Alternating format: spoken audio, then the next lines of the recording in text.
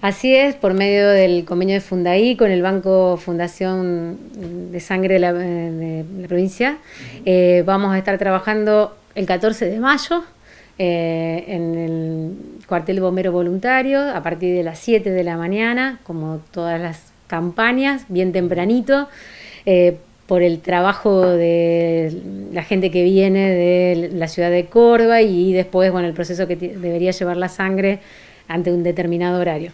Eh, empezamos eh, ya a reservar turnos para quienes quieran ser donantes.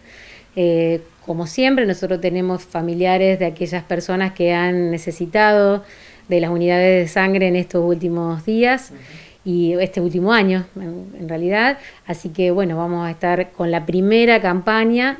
Mm, digo primera porque siempre tenemos la posibilidad de, si bien anualmente Fundaid al principio de año nos manda el anual, pero bueno, el año pasado tuvimos la gran oportunidad de poder hacer dos más, eh, que fue exitosa y realmente estamos en una etapa donde eh, la donación de sangre está muy escasa por toda la pandemia y el miedo que esto es muy recurrente.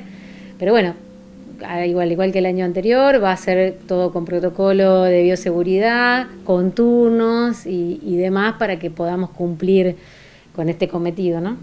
Bueno, eso justo te iba a preguntar. La idea de promocionar es justamente para ir reservando los turnos y tener una idea en cuanto a lo que es el horario y, todo lo que se ha trabajado justamente en las campañas del año pasado. Sí, exactamente. Está, nosotros ya eh, empezamos a circular el video de la campaña, que es el, mismo del año pasado, que está muy bueno porque en eso hacemos la presentación del día de la donación y a su vez cuáles son las características del donante, eh, lo que significa donar sangre y, y quiénes no y quiénes sí pudieran estar en, esa, en ese listado. Y por supuesto lo que siempre insistimos con ser... Eh, eh, para que ser donante de médula, de médula ósea. Eh, nosotros eh, queremos siempre como destacar que en realidad eh, Fundaid tiene un, como un objetivo que es el de poder ayudar a todos aquellos que están internados en, las ciudades vecinas o en, las, grandes urbes donde nosotros no podemos, tendríamos que viajar con el donante en pie y esa es la facilidad que les da eh, esta fundación, digamos, que es simplemente acercándose a la Secretaría o llamándonos eh, personalmente para poder requerir de esta cantidad de unidades que, estarían necesitando este, el paciente, ya sea con una cirugía programada o una urgencia, eh, y nosotros poder a la distancia hacer todo ese tipo de trámites.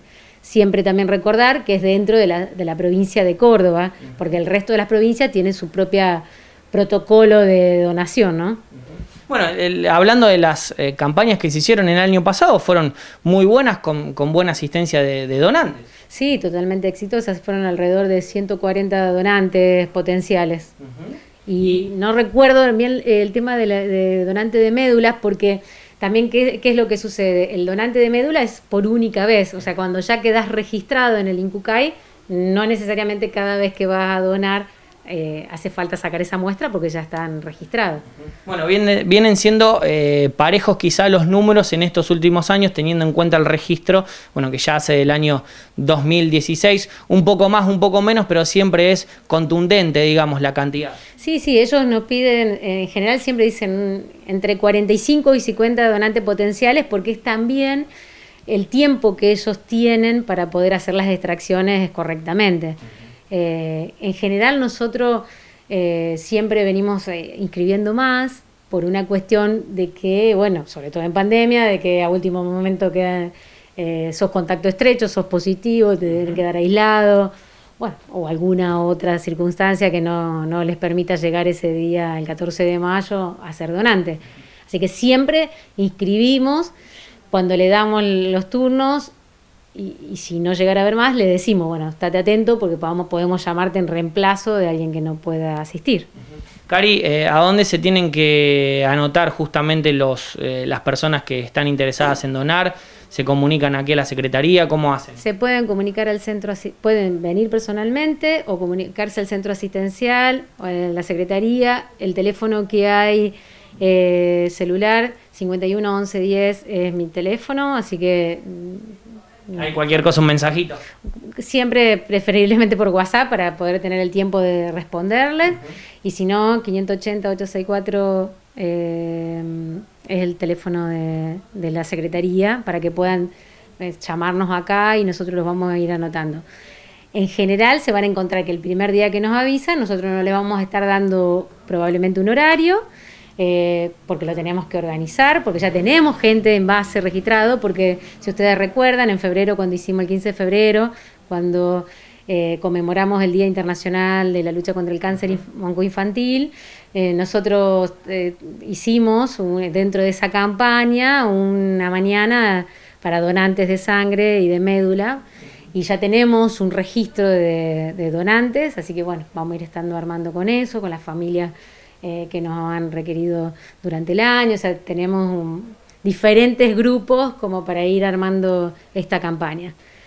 Recordarles también que es importante que cada grupo familiar tenga la certificación, el carnet, como lo quieran llamar, de que ya son donantes de eh, la Fundación Banco de Sangre de la provincia de Córdoba para que sea más fácil el trámite siempre cuando lo requieran.